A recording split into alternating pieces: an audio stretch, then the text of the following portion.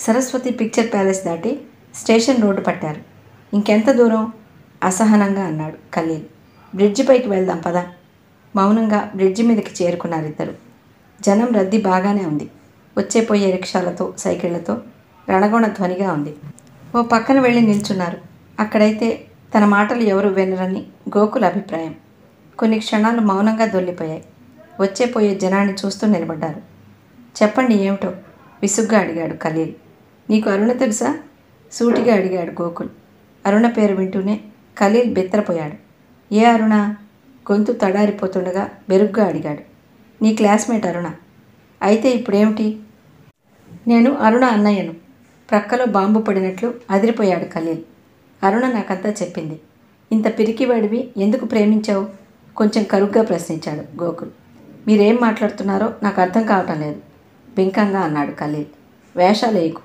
ఆడపిల్లల జీవితాలతో ఆడుకునే నీలాంటి వెధవలకు ఎలా బుద్ధి చెప్పాలో నాకు బాగా తెలుసు.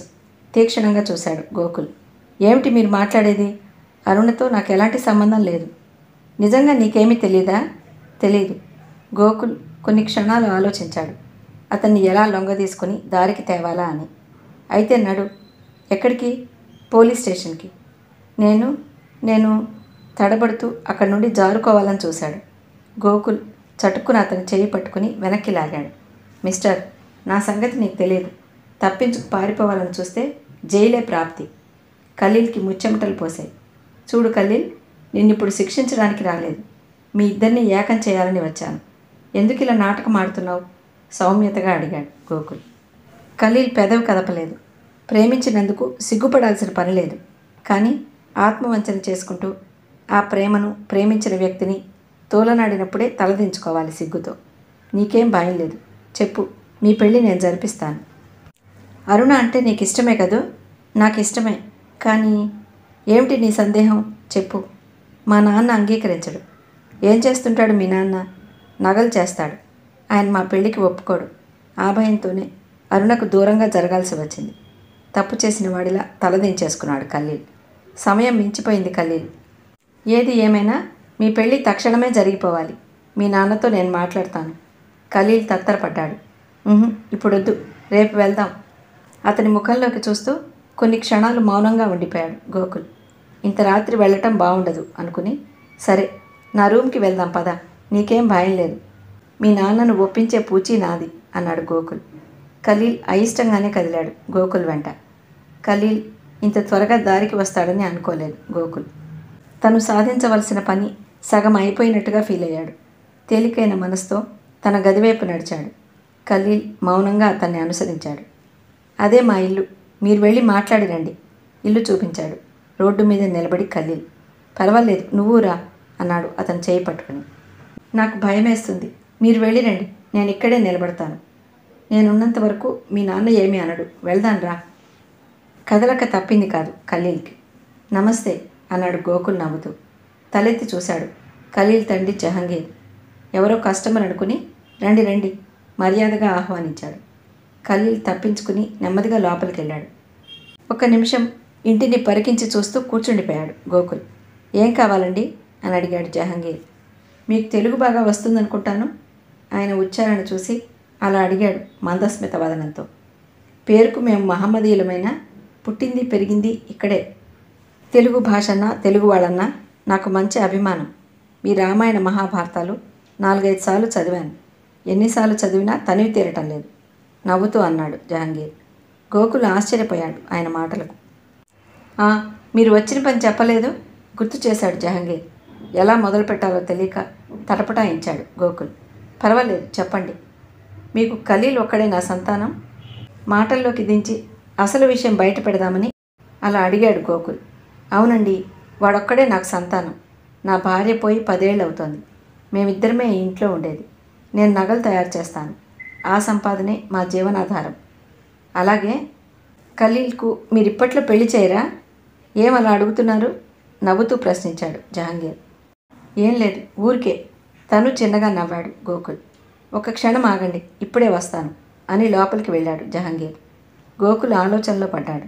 చూడబోతే మంచి వ్యక్తిలానే ఉన్నాడు. నెమ్మదిగా విషయం బయటపెట్టేస్తాను ముందు అనుకూలపరుచుకోవాలి అని నిర్ణయించుకున్నాడు గోకుల్. టీ తాగండి. కప్పు అందించాడు జహాంగీర్. ఆశ్చర్యంగా ఉంది. ఇంతలోనే ఎలా తయారైంది? అంత హఠాత్తుగా పొగలు కక్కుతున్న టీ ఎలా తెచ్చాడో అని గోకుల్కి ఆశ్చర్యంగా ఉంది. ఫ్లాస్క్లో పోసుంచాను నేను భోజనం లేకపోయినా ఉంటా కానీ రోజుకు ఐదారు సార్లు టీ లేకపోతే సరిగ్గా పని చేయలేను అని నవ్వాడు జహాంగీర్. ఖాళీ కప్పు క్రింద పెడుతూ తలెత్తి చూశాడు గోకుల్. కిటికీలోంచి తననే దీనంగా చూస్తున్నాడు కలిగి నీకేం పర్వాలేదు ధైర్యంగా ఉండు అన్నట్లు కళ్ళతోనే సైగ చేశాడు గోకుల్. ఇప్పుడు చెప్పండి అంటూ తాపీగా స్టూల్ లాక్కుని కూర్చున్నాడు జహాంగీర్. నేను చెప్పే విషయం మీరు సావధానంగా వినాలి ఆగి ఆయన ముఖంలోకి చూశాడు గోకుల్. సందేహం ఎందుకు? నాతో మీ అవసరం ఏమిటో చెప్పండి అంటూ నవ్వాడు. ఆయన అలా ప్రోత్సాహకరంగా మాట్లాడేసరికి కొద్దిగా ధైర్యం వచ్చింది గోకుల్కి. మీ అబ్బాయి ఒకవేళ హిందూ కన్యను ప్రేమించాడే అనుకోండి అప్పుడు మీరేం చేస్తారు? ఆయన ముఖంలోకి నిశితంగా చూస్తూ అడిగాడు. ఏమిటండి మీ ప్రశ్న? చిన్నగా నవ్వాడు జహాంగీర్. మాట వరుసగా అడుగుతున్నాను. ఏమీ అనుకోకండి. వాళ్ళ ప్రేమ వివాహానికి మీరు అంగీకరిస్తారా? జహాంగీర్ నవ్వేస్తూ నాదే ఉందండి. రేపో మాపో రాలిపోయేవాణ్ణి. నా అభిప్రాయాలను చాదస్తాలను. వాడి నెత్తిని రుద్ది వాడి జీవితాన్ని నరకప్రాయం చేసే అధికారం నాకు లేదు. వాడు ఇష్టపడిన అమ్మాయితోనే పెళ్ళి జరిపిస్తాను. ఉన్నది ఒక్కడు. వాడు సంతోషంగా ఉండటమే నాకు కావాల్సింది. జహాంగీర్ గారు మీలా ప్రతి తల్లిదండ్రులు ఆలోచిస్తే చాలా వరకు సమస్యలు తగ్గిపోతాయి. మెరిసే కళ్ళతో సంతోషంగా చూశాడు గోకుల్. ఇవన్నీ ఎందుకు అడుగుతున్నారో తెలుసుకోవచ్చా? కలి ఓ బ్రాహ్మణ కన్యను ప్రేమించాడు. ఆ అమ్మాయి కూడా ఖలీల్ని ప్రాణ సమానంగా ప్రేమించి ఆరాధిస్తోంది. వాళ్ళిద్దరూ వివాహం చేసుకోవాలనే నిశ్చయానికి వచ్చారు. మీతో చెప్పే ధైర్యం చాలక నన్ను చెప్పమన్నాడు. మరి మీరేమంటారు? ప్రాణాలు ఉగ్గబట్టి ఎదురు చూడసాగాడు ఆయన సమాధానం కోసం. ఆ మాట వింటూ కూడా ఏమాత్రం ఆశ్చర్యపోలేదు జహాంగీర్. చిన్నగా నవ్వేస్తూ ఇలాంటిదేదో ఉంటుందని ముందే ఊహించాను మీ మాటల్ని బట్టి. ఖలీల్ ఇల్లరా? అని పిలిచాడు. బయటకు వచ్చాడు ఖలీల్ నెమ్మదిగా. తండ్రి ముఖంలోకి చూసే ధైర్యం లేక తలదించేసుకున్నాడు. ఆ ఇద్దరిని విచిత్రంగా చూడసాగాడు గోకుల్. ఎందుకు నాయనా? నా వద్ద దాపరికం. నేను కాదంటానని భయపడుతున్నావా? నీ చదువు విషయంలో కాస్త కఠినంగా ప్రవర్తించానే తప్ప నీ జీవితం నీ ఇష్టం. ఇందులో నా జోక్యం ఎంత మాత్రమూ లేదు. చూసి సంతోషించేవాడిని తప్ప ఎంత మాత్రం అడ్డు చెప్పేవాణ్ణి కాదు. బాబా! తండ్రి పాదాలకు చుట్టుకుపోయాడు ఖలీల్. గోకుల్ మనసు తేలికైంది. తృప్తిగా నిట్టూర్చాడు. ఆ తర్వాత వివరంగా జరిగిందంతా చెప్పాడు గోకుల్. జహంగీర్ ఏమీ అభ్యంతరం చెప్పలేదు. అరుణ ఖలీళ్ళ పెళ్ళికి నిరభ్యంతరంగా అంగీకరించాడు. వాళ్ళకు తెలియకుండా ఇంతటి సాహసం చేస్తే మళ్ళీ ఎలాంటి గొడవలు తలెత్తుతాయో సందేహంగా అన్నది శిరీష. ముందుగా చెప్తే వాళ్ళు అంగీకరించరని నాకు తెలుసు. వాళ్ళిద్దరూ ఇష్టపడ్డారు. పెళ్ళి జరిగిపోతేనే వాళ్ళ మనసులు కుదుట పడతాయి. నిదానంగా శంకరంకు నచ్చ చెప్పచ్చు అప్పుడు వాళ్ళు ఏం చేసినా ఎంత గొడవ పెట్టినా పర్వాలేదు. అరుణ జీవితం చక్కబడటమే మనకు కావాల్సింది అన్నాడు గోకుల్. వాళ్ళు అసలే చాదస్తులు. మనిద్దరం కలిసి ఈ పెళ్ళి చేశామని తెలిస్తే ఇంకేమైనా ఉందా? గుండెల మీద చేయి వేసుకుంది శిరీష భయంగా. అందుకే అందుకే నేను చెప్పేది మేము ముగ్గురం ఖలీల్ తండ్రి కలిసి తిరుపతి వెళ్తున్నాం. ఏదో ఒక సాకు చెప్పి అరుణను బయటికి పంపే ఏర్పాటు నువ్వు చేయి చాలు. ఇందులో నీ ప్రసక్తి లేకుండా దగ్గరుండి నేనే జరిపిస్తాను. వాళ్ళు నన్ను ఎన్ని తిట్టిపోసినా పర్వాలేదు. ఇంతకంటే మార్గం లేదమ్మా. ఆలస్యం చేస్తే అరుణ పదిగురిలో నవ్వుల పాలవుతుంది. శిరీష కొన్ని క్షణాలు మౌనంగా ఉండిపోయింది. ఇంత మంచి మనిషిని పట్టుకుని నిందలు వేశారు వాళ్ళు. భగవంతుడు అనేవాడు ఉంటే నీకు నీ మంచి మనసుకు మేలు జరగకపోదు. కీడు చేసిన వాళ్ళకు మేలు చేయడానికి పూనుకున్న నీ సహృదయం ఎవరూ అర్థం చేసుకోలేకపోతున్నారన్నయ్య. బాధతో జాలిగా చూసింది. అది నా ధర్మం. శంకరం మార్గం మళ్ళాడు. సక్రమ మార్గాన నడిపించడం నా ధర్మం. ఎంత కాదనుకున్నా వాడు నా స్నేహితుడు నా ప్రాణం. చెంపల మీదుగా కరే కన్నీరు తుడుచుకుని సరే వస్తానమ్మా. ఆ ఏర్పాట్లన్నీ నేను చూసుకుంటాను. రేపు రాత్రి ఎనిమిది గంటల తర్వాత అరుణను స్టేషన్కి పంపే ఏర్పాటు చూడు. మర్చిపోకు. జాగ్రత్త. వస్తానమ్మా అని చెప్పి వెళ్ళిపోయాడు గోకుల్. అతను వెళ్ళిన దిక్కే చూస్తూ నిల్చుండిపోయింది శిరీష. వదిన నీ రుణం ఎలా తీర్చుకోను? ఆర్తిగా శిరీషం చుట్టుకుపోయింది అరుణ. పిచ్చిపిల్ల ఈ ఇంటి కోడలిగా ఇది నా బాధ్యత. లే వెళ్ళిరా. నీకేం భయం లేదు. గోకుల అన్నయ్య ఉన్నంత వరకు నీకు ఏ ఆపద రాదు. నాకెందుకో భయంగా ఉందదినా చిన్నగా ఏడుస్తూ శిరీష చేతులు పట్టుకుంది. ఎందుకమ్మా? నువ్వేమీ తప్పు చేయపోవటం లేదు. కోరుకున్న వాడితో దేవుని సన్నిధిలో కళ్యాణానికి తరలి వెళుతున్నావు. ఏడవకూడదు.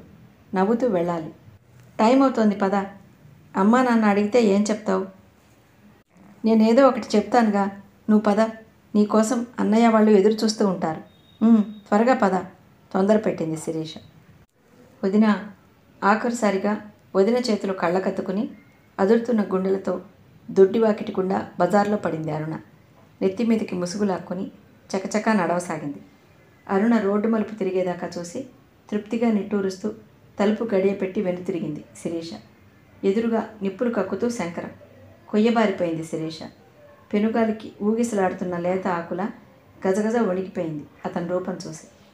ద్వారం అవతల అత్తమామలు నిల్చుని ఉన్నారు. శిరీషకు కాళ్ళల్లో వణుకు గుండెల్లో దడా ప్రారంభమైంది.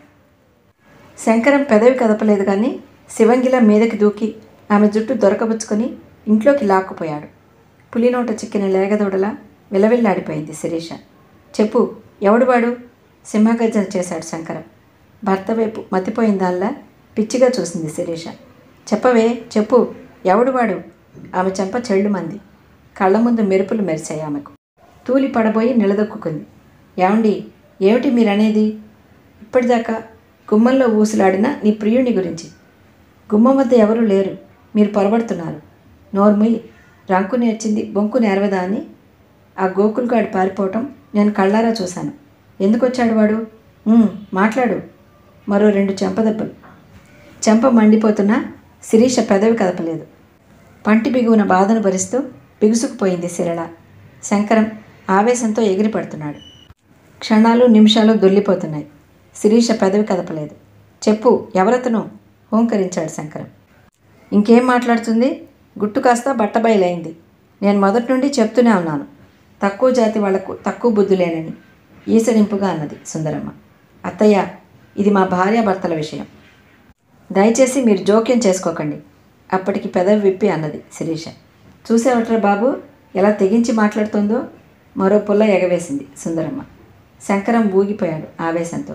నీచురాలా ఎంతకు తెగించావే? అన్నయ్య అన్నయ్య అంటూ వాడు నువ్వు కలిసి నా కళ్ళు కప్పుతారా? నిన్ను నరికినా పాపం లేదు. చుట్టు పట్టుకుని బరబరా ఈడ్చి వీపు మీద గుద్దాడు కసిగా. శిరీషలో సహనం నశించింది. ఎంతటి సాధు జంతువైనా ఏదో ఒక రోజున కొమ్ము విసరక మానదు. సాధు రేగితే ఏం జరుగుతుందో అదే జరిగింది. వదలండి. ఏమిటి మీ దౌర్జన్యం? విసురుగా అతన్ని తోసేసింది. శంకరం మాన్పడిపోయాడు. అయ్యో అయ్యో ఎంత ఘోరం! మొగుడి మీదే తిరగబడుతోంది. ఇదెక్కడ ఆడది? గుండెలు బాదుకుంది సుందరమ్మ. అత్తయ్య దీనికంతటికీ కారణం నువ్వే. నీకేం అపకారం చేశానని ఇలా మమ్మల్ని విడదీస్తున్నావు? ఆడదానివే. సాటి స్త్రీ బాధను ఇసుమంతైనా అర్థం చేసుకోలేవు. ఇన్నేళ్ళు వచ్చాయి నాతో చెప్పించుకోవాలా? ఏం బాగుకుందామని ఇలా చేస్తున్నావు? కృష్ణశాస్త్రి కలగజేసుకున్నాడు. ఏమిటమ్మాయి నీ మాటలు? పెద్ద చిన్న అక్కర్లే? బరి తెగించి తిరుగుతూ పైగా తిరగబడతావా? లక్షణంగా కాపురం చేసుకోవాలని లేదా? తీక్షణంగా అన్నాడు. మామగారు మీరు పెద్దవారైపోయారు. ఏమీ అనలేకపోతున్నాను. నా సంసారంలో కలతలు రేపింది మీరు కాదు. నా భర్తకు లేనివి కల్పించి చెప్పి ఆయన మనసు విరిచేసింది మీరు కాదు నేను బరితెగించానా? ఏం చూశారు? నాలో విచ్చలవిడితనం. మనుషులై ఉండి కూడా ఎందుకు ఇలా రాక్షసుల్లా ప్రవర్తిస్తున్నారు? ఏమిటే? చూస్తుంటే పేటరేగిపోతున్నావు? విసురుగా చెయ్యెత్తాడు శంకరం. ఆగండి నా వంటి మీద మరో దెబ్బ పడిందంటే మర్యాద తగ్గదు మీరు చీదరించుకున్నా నిందలు వేసినా భరించాను. ఇన్నాళ్ళు మీరు మారతారని మీ మనసు మల్లెపువ్వు అని భ్రమించాను. కానీ మీరెంత కర్కోటకలో ఇవాళ్ళే అర్థమైంది. గర్భవతి నన్న జాలి కూడా లేకుండా రాక్షసి మాదిరి మీదపడి కొడతారా? చదువుకున్నారు. ఆ మాత్రం తెలీదు. నాలో ఏం తప్పు చూసి ఇలా అమానుషంగా ప్రవర్తిస్తున్నారు? చెప్పండి నా తప్పేమిటో? మిమ్మల్ని మనసారా ప్రేమించి దైవంగా పూజించినందుకేనా ఈ శిక్ష? నెలకు మూడు వందలు సంపాదించి తెచ్చి ఇవ్వడమేనా నా తప్పు? నా దోషమేమిటో విడమర్చి చెప్పండి. శిరీష అలా ఎదిరించి మాట్లాడగలదని శంకరం ఊహించలేదు. తెల్లబోయి చూశాడు వింతగా. మూడు వందలు సంపాదిస్తున్నాననే నీకు గర్వం. ఏం తప్పు చేశానని? ఇంకా సిగ్గు లేకుండా ఎలా అడుగుతుందో చూడు. సుందరమ్మ కస్సుమంది. నోరుందని ఊరికే మాట్లాడకు. నేను తప్పు చేయగా నువ్వు చూసావా అంతకంటే రోషంగా కఠినంగా అంది శిరీష. ఇన్ని మాట్లాడుతున్నావు. ఇందాక మంతనాలు జరిపినవాడు ఎవడే? ఎవరితో మాట్లాడి పంపానో తెలిస్తే మీ గుండెలు ఆగిపోతాయి. కప్పదాట్లు వేయక ఏమిటో చెప్పు రెట్టించింది సుందరమ్మ. అయితే వినండి. ఇందాక నేను మాట్లాడింది అరుణతో. శిరీష మాట పూర్తి కాకముందే కృష్ణశాస్త్రి అందుకున్నాడు. ఒరేయ్ శంకరం అది ఇంకా నిజం చెప్తుందనుకోవటం మన భ్రమ. ఏదో ఒక సాకు చెప్పి తప్పుకుంటుందే తప్ప తప్పు చేశానని ఒప్పుకుంటుందా? ఇంకా చూస్తావేమిట్రా? ఈ చెడిపోయిన దాన్ని ఇంకా ఏలుకోవాలని అనుకుంటున్నావా? ముందు బయట గెంటు దాని ఇష్టమైన వాడి దగ్గరకు వెళ్తుంది. ఇంత చేసింది ఇక నీతో ఏం కాపురం చేస్తుంది? ఛీ మీరు బ్రాహ్మణ కుటుంబంలో ఎలా పుట్టారో? మీకు వచ్చేవన్నీ నీచపుట ఆలోచనలే. చెడిపోయింది నేను కాదు మీరు. నన్ను ఇంట్లోంచి వెళ్ళమంటానికి మీరెవరు? ఇది నా ఇల్లు. ఇష్టం లేకపోతే మీరే వెళ్ళండి. అసహ్యంగా చేదరంగా అరిచింది శిరీష. శంకరం స్పృహలోకి వచ్చాడు చాలించు నీ మాటలు. నీతో నాకు ఎలాంటి సంబంధం లేదు. నడు బయటకు. ఇవాల్టితో మన మధ్యనున్న బంధం తెగిపోయింది. పొగరబట్టిన నీ కళ్ళకు భర్త అత్తమామలు ఎవరూ కనిపించటం లేదు. వెళ్ళు. నీ ఇష్టం వచ్చిన చోటుకు వెళ్ళు. ముఖం కందగడ్డలా చేసుకున్నాడు శంకరం. శిరీష వెటకారంగా నవ్వింది. ఏ సంబంధము లేదని ఇప్పుడంటే సరిపోదు. మంగళసూత్రమని నా మెడలో ఉరిత్రాడు తగిలించారు. మీరింతటి సంస్కారహీనులని రాక్షసులని తెలుసుంటే ముందే జాగ్రత్త పడేదాన్ని. నా జీవితాన్ని నరకం చేసి నా బ్రతుకుతో ఆడుకుని తమాషా చూశారు. ఇంకే ఇప్పుడు తెలిసిందిగా వెళ్ళిపో. నీతో కాపురం చేయటం నాకు ఇష్టం లేదు. నువ్వంటే నాకు అసహ్యం నిజంగానే అంటున్నారా? ఇలా నా ముఖం చూసి చెప్పండి. కరుగ్గా తీక్షణంగా చూసింది. అవును నిజంగానే అంటున్నాను. నీ గుణం తెలియక మోసపోయి చేసుకున్నాను. ఇంతటి నెరజాణమని ఇప్పుడే తెలిసింది. శిరీష పిచ్చిగా నవ్వింది. కృష్ణశాస్త్రి సుందరమ్మలు తెల్లబోయి చూశారు. తల్లిదండ్రుల మాటలు విని భార్యను అనుమానించి దూరం చేయడానికి సిద్ధపడ్డ మీకు ఏం చెప్పినా చెవికెక్కదు. కళ్ళున్నా చూడలేని గుడ్డివాళ్ళు చెవులున్నా వినలేని చెవిటి వాళ్ళు మీరు. బుర్ర ఉండే ఆలోచించలేని మూర్ఖులు. ఇన్నాళ్ళు మీతో కలిసి కాపురం చేసినందుకు సిగ్గుపడుతున్నాను. మీరు కాదంటే కాళ్ళ మీద పడి వేడుకుంటాననుకున్నారేమో. ఆ దశ దాటిపోయింది. మీ రాతి గుండెను కరిగించలేను. మీ కళ్ళకు కమ్మిన పొరలు తొలగించలేను. సంపాదిస్తూ కూడా బానిసలా పడుండలేను. నాకు ఒక వ్యక్తిత్వం అభిమానం ఉంది. వాటిని కాపాడుకోవటం నా ధర్మం. ఆ అహమే ఇలా చేసింది. ఇంకే వెళ్ళు. భర్త వదిలిన భార్యగా ఈ సంఘంలో నీకెంతటి విలువ దక్కుతుందో చవిచూడు. నా కళ్ళ ముందు నుంచి వెళ్ళిపో. ఆలస్యం చేస్తే ఏం చేస్తానో నాకే తెలియదు. మనిషి జన్మ ఎత్తి సంస్కారం కల ఎవడు కట్టుకున్న భార్యను ఇంట్లోంచి వెళ్ళిపోమనడు. ఆల్రైట్ మీకింత వెగటైనప్పుడు ఇంకా ఎందుకుంటాను? వెళ్తాను. మీరు పిలిచేంత వరకు మళ్ళీ మీ గడపలో కాలు పెట్టను. ఏదో ఒక రోజున మీరు చేసిన తప్పిదనానికి బాధపడే రోజు రాకపోదు అని అత్తమామల వైపు తిరిగి తీరిందా మీ కసి ఇక ఈ శ్మశాన వాటికను మీరే ఏలుకోండి. నన్ను ఇన్ని బాధలు పెట్టి నా కాపురాన్ని ముక్కలు చేసిన వాళ్ళెవరూ బాగుపడరు. పురుగులు పడి చేస్తారు. కసిగా అని అక్కడి నుండి కదిలిపోయింది శిరీష. పక్కీర్ముండ ఎంత మాట అంది కట్టుకున్న వాడిని తోలనాడి ఎలా వెళ్ళిపోతుందో చూడు. మెటికలు విరుస్తూ తిట్టిపోసింది సుందరమ్మ. కృష్ణశాస్త్రి మౌనంగా ఉండిపోయాడు. శంకరం అశాంతితో వేగిపోసాగాడు. అక్కడ నిలబడలేక తన గదిలోకి వెళ్ళి తలుపులు బిగించాడు. అది చూసిన కృష్ణశాస్త్రి గుమ్మరంగా నవ్వాడు. సుందరమ్మ కంగారు పడిపోయింది. అబ్బాయి తలుపులు బిగించుకున్నాడండి. అనవసరంగా కంగారు పడకు. చూస్తూ ఉండు. ఏమీ కాదు. అది వెళ్ళిపోయింది. ఇక వీడు మన చేతిలో కీలుబొమ్మ. ఎలా వంచాలో నాకు తెలుసు. ఈ రోజుకు వాణ్ణేమీ కదలీకు. రేపటికల్లా వాడే మామూలు అవుతాడు అన్నాడు కృష్ణశాస్త్రి. కోడలి పిల్ల నిజంగానే వెళ్ళిపోయిందంటారా? మళ్ళీ కానీ వస్తుందా? సందేహంగా అడిగింది సుందరమ్మ. ఇంకెక్కడికి వస్తుందే మనకంటే మొండిది. మనం ఇంట్లో ఉన్నంతకాలం ఈ ఛాయలకే రాదు అడ్డు తొలగిపోయింది. అనుకున్న ప్రకారం వాణ్ణి దారిలోకి తెచ్చుకోవాలి. రామశాస్త్రికి ఉత్తరం రాస్తాను. ఓసారి వచ్చిపోమని. సుందరమ్మ మౌనంగా ఉండిపోయింది. కృష్ణశాస్త్రి కూడా ఆలోచనలో పడిపోయాడు. తిరుపతి కొండ మీద అరుణ ఖలీళ్ళ వివాహం జరిగిపోయింది. గోకుల్ తృప్తిగా నిట్టూర్చాడు. అరుణకు ఓ పక్క ఆనందము మరో పక్క తల్లిదండ్రులకు తెలియకుండా తన పెళ్ళి జరిగిపోయినందుకు భయమూ పీకుతోంది. అది గమనించిన గోకుల్ ధైర్యం చెప్పాడు. ఎందుకు అరుణ? అనవసరంగా భయపడతావు. ఈ క్షణాలెంతో ఆనందమైనవి. కోరుకున్న వాణ్ణి పొందగలిగావు నువ్వు. నువ్వు చాలా అదృష్టవంతురాలివమ్మా. ప్రేమగా తల నిమిరాడు. అరుణ కళ్ళు చెమ్మగిల్లాయి ఆ ప్రేమకు. తోడబుట్టిన అన్న కన్న తల్లిదండ్రులు చేయలేని ఈ పనిని ఈ మంచి మనిషి చేసి తన బ్రతుకుని నిలబెట్టాడు. కృతజ్ఞతగా చేతులు జోడించింది. మీరంతా ఉండగా నాకేమిటి భయం? కాకుంటే అమ్మ నాన్నలకు తెలిస్తే గొడవ చేస్తారు. అదే నా బాధ. ఏం పర్వాలేదు. నిన్న వస్తూనే వారికి లెటర్ రాశాను. క్రొత్త దంపతులను స్టేషన్కి వచ్చి ఆశీర్వదించమని రాశాను. తెలపడం మన ధర్మం. ఇక వాళ్ళ ఇష్టం. వాళ్ళు రాకపోయినా నీ ఇంటికి నువ్వు వెళ్ళిపోతావు. ఇంకెందుకు బాధ? అవునమ్మా వాళ్ళు ఇష్టపడి ఆహ్వానిస్తే వెళ్ళండి. లేకపోతే సరాసరి మన ఇంటికే వెళ్ళిపోదాం. ఈ క్షణం నుంచి నువ్వు నా కోడలివమ్మా. ఇప్పుడు నిన్ను ఏమన్నా అనడానికి ఎవరికీ అధికారం లేదు. అనవసరంగా మనసు కష్టపెట్టుకోకు. నీకే లోటు రాకుండా చూసుకుంటాం. అని జహాంగీర్ కూడా ధైర్యం చెప్పాడు. మామగారి మాటలతో అరుణ మనసు కొద్దిగా కుదుటపడింది. ఆ రాత్రికే తిరుగు ప్రయాణం కట్టారు. ఎంత ధైర్యంగా ఉండబోయినా ఏవో పిచ్చి ఆలోచనలు అరుణను స్థిమితంగా ఉండనేయటం లేదు. దారి పొడవునా జహాంగీర్ గోకుల్ అరుణకు ధైర్యం నూరిపోస్తూనే ఉన్నారు. ఖలీల్ కూడా కళ్ళతోనే నీకేం భయం లేదన్నట్టు చూసి ఆమెను నవ్వించాలని ప్రయత్నం చేసేవాడు.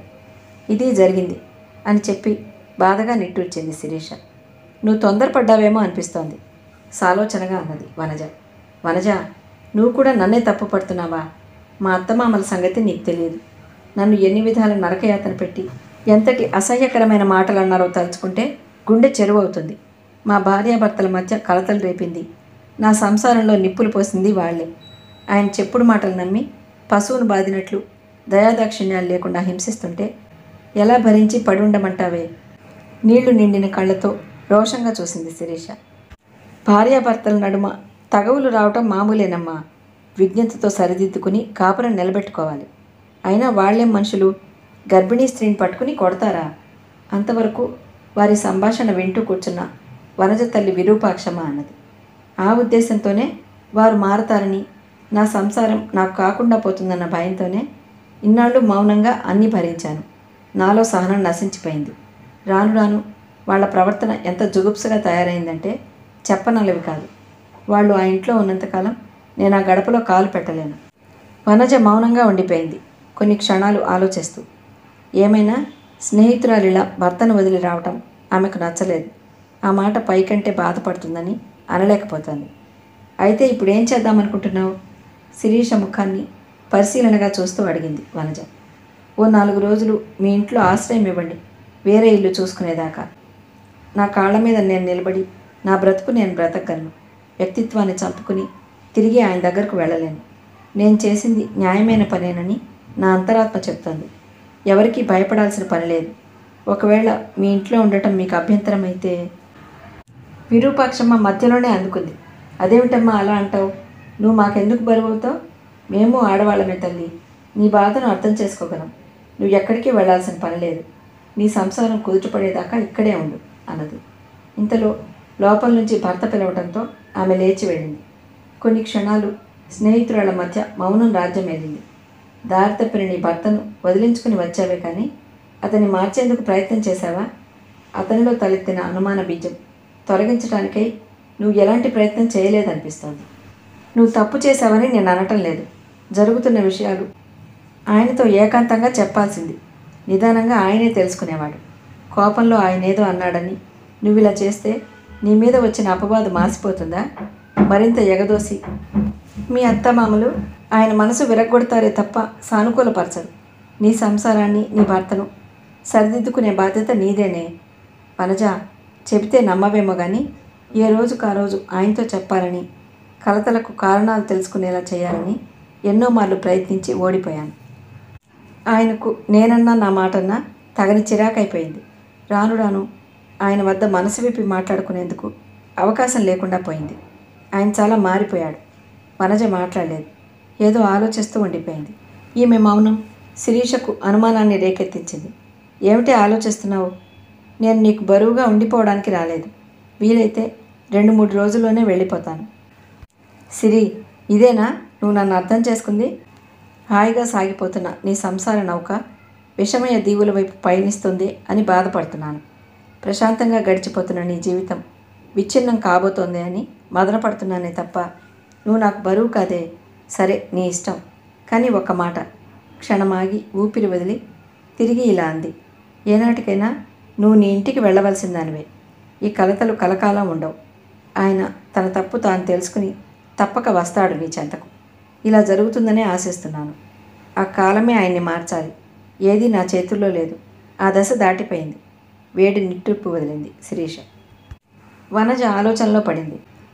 గోకుల్ రాసిన ఉత్తరం చదివి తండ్రి చేతికిచ్చి మరేం మాట్లాడక మౌనంగా తలదించుకుని వెళ్ళిపోయాడు శంకరం. అది చదివి కృష్ణశాస్త్రి నిర్ఘాంతపోయాడు. సుందరమ్మ గగ్గోలుగా ఏడ్చింది గుండెలు బాదుకుంటూ. కొన్ని నిమిషాల తర్వాత ఎందుకే ఏడుస్తావు? దానికి ఇష్టమైన వాడిని అది కట్టుకుంది. బిడ్డల్ని కంటాం కానీ వాళ్ళ రాతల్ని కనలేంగా దాని అదృష్టం ఎలా ఉంటే అలా జరుగుతుంది. ఊరుకో భారంగా నిట్టూర్చి అన్నాడు. పోయి పోయి ఆ తురకాడినే చేసుకోవాలా? అందలం ఎక్కిద్దామనుకుంటే దీని రాత ఇలా తగలబడింది ఏమిటా అని నా బాధ. మనతో మాట మాత్రమైనా చెప్పకుండా ఎందుకు తెగించింది? ఇదంతా ఆ గోకులు వెదవే చేసుంటాడు. ఒక విధంగా వాడు మనకి మేలే చేశాడు. మనకు తెలిస్తే అడ్డుపడేవాడు అందుకే ముందు తెలియకుండా పెళ్ళి జరిపించి దాని బ్రతుకు నిలబెట్టాడు. ఇప్పుడు ఎన్ననుకుని ప్రయోజనం లేదు. ఊరుకో. అది సరేనండి. అబ్బాయి ఏమిటి? అలా ఉలుకు పలుకు లేకుండా వెళ్ళిపోయాడు. శంకరాన్ని తలపోస్తూ అన్నది సుందరమ్మ. అదే నాకు అర్థం కావటం లేదు. వాడి ఉద్దేశం ఏమిటో బోధపడకుండా ఉంది. శంకరం ఆ వెళ్ళటం వెళ్ళటం నేరుగా స్టేషన్కు వెళ్ళాడు. బండి వచ్చేందుకు ఇంకా గంట టైం ఉంది. ప్లాట్ఫామ్ మీద పచారులు చేయసాగాడు. ఎన్నో ఆలోచనలు సందేహాలు అనుమానాలు చుట్టుముట్టాయి అతన్ని. తొలిసారిగా తనను తాను ఆత్మ పరిశీలన చేసుకోసాగాడు. గోకుల్ ఎందుకు ఇలా చేశాడు? నిజంగా వాడికేమీ తెలియదా ఇదంతా తన అపోహేనా? అరుణ ఇలా చేస్తుందని తను కలలో కూడా ఊహించలేదు. ఖలీలట ఎవరతను? అతను పెద్దవాళ్ళు ఎలా ఒప్పుకున్నారు ఈ పెళ్ళికి గోకుల్ ఎంత ధైర్యం వీడికి? తనకు తెలియకుండా తన చెల్లెలు పెళ్ళి చేసేశాడు. ఎందుకు? వాడికి ఏమిటి లాభం? శిరీష తనను కాదని వెళ్ళిపోయింది ఎందుకు అదంతా తన తప్పేనా తను చూసిందంతా భ్ర ఎలా సరిపెట్టుకునేది? తను కళ్ళారా చూశాక ఎలా నమ్మకుండా ఉండటం? మనసు స్థిమితం కోల్పోయింది. ఎన్నో గజిబిజి ఆలోచనలు మస్తిష్కాన్ని కొరుక్కు తింటున్నాయి. అశాంతితో ప్లాట్ఫామ్ అంతా కలే తిరగసాగాడు. గంట గడిచిపోయింది. సిగ్నల్ ఇచ్చారు. బండి రావడానికి సిద్ధంగా ఉంది. దూరాన్ని నుంచి కోత. శంకరం మనసు పరిపరి విధాలు పోతోంది. ఇప్పుడేమిటి చేయటం? జరిగింది మర్చిపోయి నూతన దంపతుల్ని ఇంటికి ఆహ్వానించాలా? మరి అమ్మా నాన్న ఏమంటారు? ఏమంటారు? ఇంతకన్నా మార్గం లేదని సరిపెట్టుకుంటారు. అరుణ ఎందుకు ఇలా చేశావు? ముందుగా నాకు ఒక్క మాట చెప్పకూడదు. రక్తం పంచుకు పుట్టిన అన్నను నేను లేను. నాకంటే ఆ గోకులుగాడే ఎక్కువయ్యాడా? వాడెవడు? నా చెల్లెలు పెళ్ళి చేయడానికి. మేమంతా చచ్చామనుకున్నాడా? అక్కడికి వాడేదో ఆదర్శమూర్తి అయినట్లు ఎవడిచ్చారు వాడికి అధికారం? గోకుల్ని తలుచుకోగానే శంకరం రక్తం కొతుకుతా ఉడికిపోయింది. అరుణ కులంకాని వాడిని ప్రేమించి పెళ్ళి చేసుకున్నందుకు అతనికి బాధ లేదు.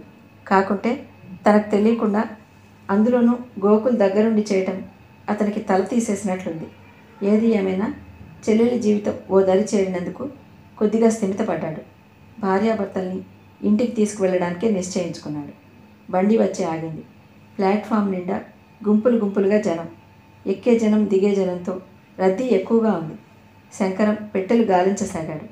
ముందుగా గోకుల్ జహాంగీర్ ఖలీల్ అరుణ దిగసాగారు.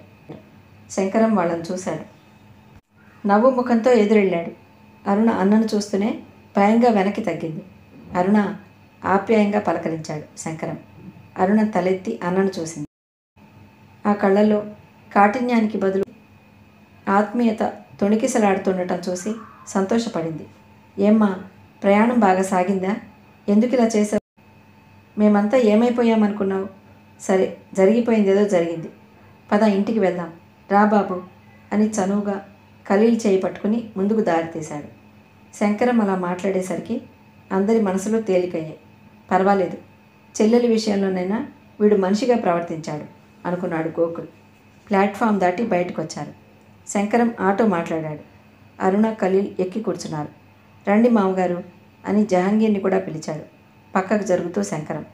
జహాంగీర్ సందేహంగా గోకుల్ వైపు చూశాడు. వెళ్ళండి అన్నట్లు సైగ చేశాడు గోకుల్. జహాంగీర్ కూడా ఎక్కి కూర్చున్నాడు. గోకుల్ మనసు చివుక్కుమంది. శంకరం తనని చూసి పలకరించలేదని. అసలు తనంటూ ఓ మనిషి పక్కనున్నట్లే గమనించని ఆ తీరుకు కొద్దిగా బాధ అనిపించినా సర్దుకున్నాడు గోకుల్. మీరు రండి అన్నాడు జహాంగీర్. ఆటో స్టార్ట్ అవుతుండగా. పర్వాలేదు మీరు వెళ్ళండి. నాకు ఇక్కడ కొంచెం పనుంది తర్వాత వస్తాను అని అన్నాడు. అప్పుడు కూడా శంకరం నువ్వు కూడా రారా? అని పిలవలేదు. వెళ్ళొస్తామని కళ్ళతోనే చెప్పారు అరుణ ఖలీల్. ఆటో కదిలిపోయింది. గోకుల్ మనస్సంతా ఏదో దిగులుగా అయిపోయింది క్షణకాలం. ఏ గొడవలు లేకుండా వాళ్ళంతా కలిసిపోయినందుకు గోకుల్ తృప్తి పడ్డాడు కాకుంటే ఇంత చేసిన తనను పరాయి వ్యక్తిలా శంకరం ప్రవర్తించిన తీరుకు కొద్దిగా బాధగా ఉంది. కొన్ని క్షణాలు ఆటో వెళ్ళిన వైపే చూస్తూ అలాగే నిల్చుండిపోయాడు. ఇంతటితో మీ బాధ్యత తీరిపోలేదు. ఆ మాటలు తనని ఉద్దేశించి అన్నవేనని వెనక్కి తిరిగి చూశాడు గోకుల్. ఎదురుగా తననే జాలిగా చూస్తూ వనజ నిలబడి ఉంది.